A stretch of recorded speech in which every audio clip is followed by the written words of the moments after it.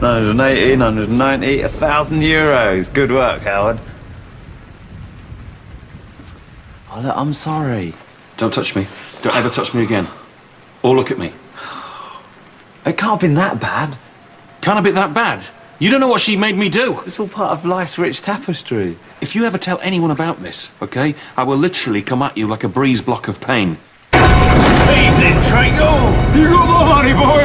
Or am I gonna have to set Elsie and her heels on you again? You don't have to do that. We have your money, thank you, yes. And how'd you come by that money, being as you're the worst shopkeeper I've ever laid me solo paper on? How I got that money isn't really relevant at this juncture. I have the money. He's a prostitute.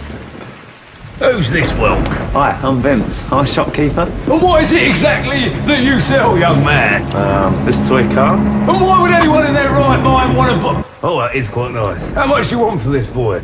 69 euros. I'll give you a hundred. Cool. I'm gonna play with that when I get home. But first, I'm gonna cut you slags up. Uh, no, we, we have the money, so that's an infringement of the agreement. Oh, boo-hoo! Do I look like a reasonable man or a peppermint nightmare? The first one? Wrong. I hate you trendy modern wankers and everything you represent. I'm gonna skin you, pop your eyes out and stamp on them. Hello. Put the knife down. You touch one hair on Howard's head, and I will shoot you down like a large German bear. Who's this, your wife? Looks like a geezer in a dress to me.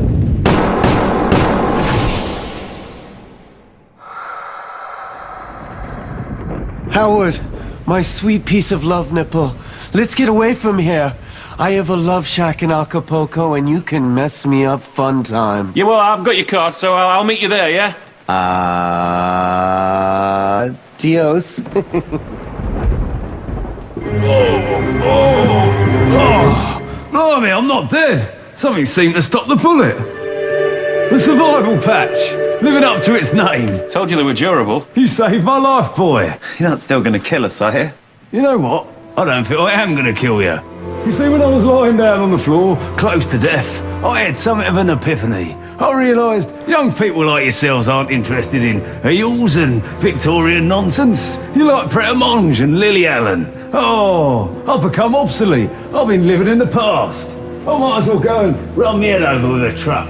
Sorry to trouble yeah. Well, there, it's not as bad as all that, is it? Hey, Well, the past and the future can live as one sometimes, sir. Can be quite an interesting combo. really? How so? Play that song you were playing earlier. All right. Eels up inside ya, finding an entrance where they can. Eels up inside ya, finding an entrance where they can. Boring through your mind, through your tummy, through your anus. Eels. Eels. Eels.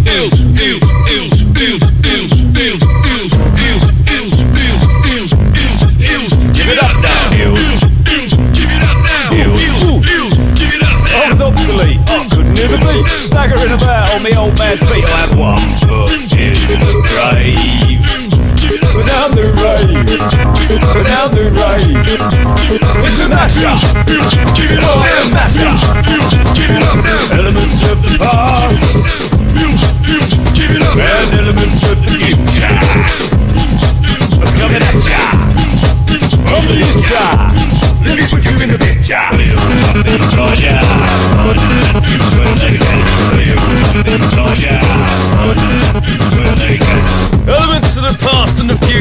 Past and combining to make something not quite as good as either.